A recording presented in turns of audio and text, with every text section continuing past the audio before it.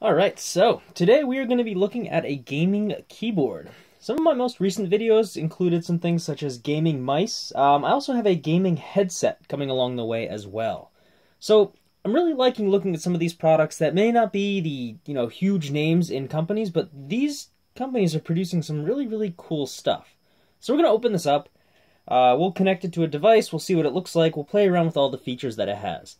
So some of the big things that it is uh, kind of bragging about is its mechanical touch plunger keys. So when you press it in, it actually has like a very responsive feel. Right? There's a good design for good layout, uh, like a good layout for typing. Easy to use for just plug it in and it works. And it's also apparently ergonomical, so it's very good and like molded around your wrists, so you don't do as much damage over time. So let's open it up and see what's inside.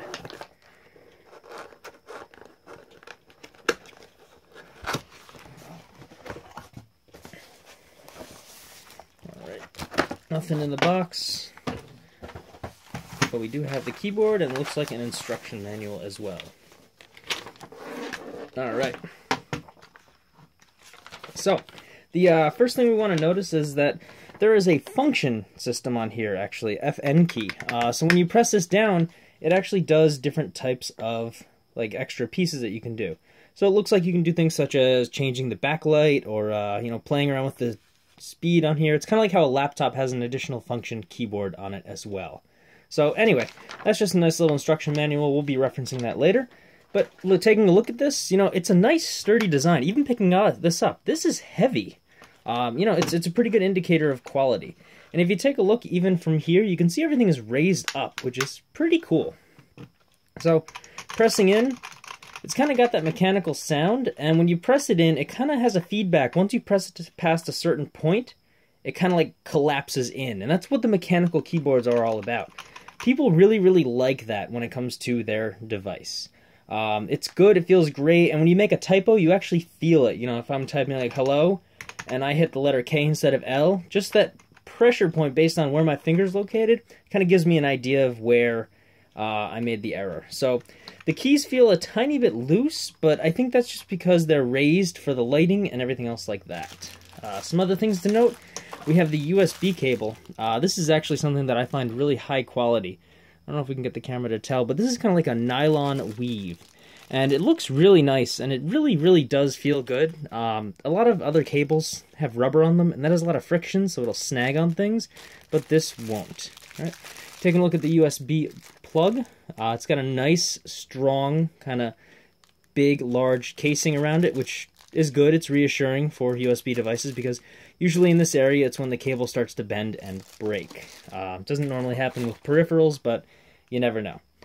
So, uh, some other things we can notice, the keyboard actually has WASD on it, which is kind of cool. Um, but yeah, and also we have the WASD over here. It also has the arrows on them, so just for quick reference.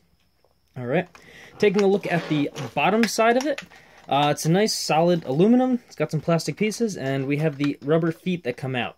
One thing to notice about these is that, uh, let me see if I can glare the light. There we go. Those rubber feet on them, when it flips out, are also the same as the rubber feet that hold it in place. So you don't have to worry about your keyboard sliding forward if you decide to raise it up a little bit. Taking a look at it raised, it feels good. It's at a great angle, and uh, everything seems pretty nice. So in the next part, we're just going to kind of play around with the lights, and we're going to see how it reacts when I just do a little quick typing test. And I'll do some typing on here so you can see me experiencing it the first time as well. Uh, last thing before we switch to that, though, we also have function keys up here. Uh, it was referenced on the sheet, but if you hold down function and let's say I press F7, it'll actually do play and pause. Uh, just one of many examples on this. So anyway, we're going to plug it in and see what the lights look like. Alright, so I have the keyboard ready. Uh, you can kind of see my laptop in the upper left corner. So I'm going to kill the lights and we're going to plug this in to see how it works. So there we go. You can't really see too much, but once I plug it in... There we go. Now we got this keyboard lighting up. So, the function key allows you to actually cycle through the colors. Alright. The function plus window will give it certain types of features. So in this case, it will start pulsing and cycling through it, which looks really cool. Slightly distracting, but it looks pretty sweet. All right, you can actually turn it off completely. Oops, sorry, should be function that. There we go, the breathing. And then it kind of just locks it in, so I can switch through my colors if I want. I like the white. It looks very bright. Um, also, you know, the light's kind of bleeding through on this to the camera, so it's really hard to give it a true justification. Let me see if I can kill another light on the side. There we go. That kind of looks a little bit better. Um, it's a very, very bright keyboard, and there are ways to change it. Uh, I can't really see it on here because I turned off the lights, but there are ways that you can actually speed up the light process of the blinking. So when I switch it to breathing mode, I believe it's function plus. That makes it... Oh, there we go. Yeah, cycles a little bit faster. I can slow it down as well. Oh no, I think I'm actually adjusting the brightness. Never mind. I'm going to turn on the lights though so I can read this instruction manual. Alright, so we can lock the screen, obviously. We can actually press the function key with the W, and we can actually turn it into exchanging WASD with the arrows. So that's pretty cool as well. Uh, some other things I'll just read out. We can adjust the typing rate. We did change the backlight. The function with the minus or the underscore or the plus equals can speed up or slow it down. And we can also do page up and page down to make this brighter or darker. So let's just try making it a little bit brighter. Maybe that's the max. It's very subtle with the lights on, but anyway, um, it's a very cool keyboard. I am very impressed with it. I'm going to kill the lights one more time so you can see it, and then we're going to wrap it up in the dark. Alright, so, like I said, the keyboard is awesome. I really like this thing. So, I'm going to keep playing with it. I'm probably going to use this as my main keyboard just because I like the way that it looks.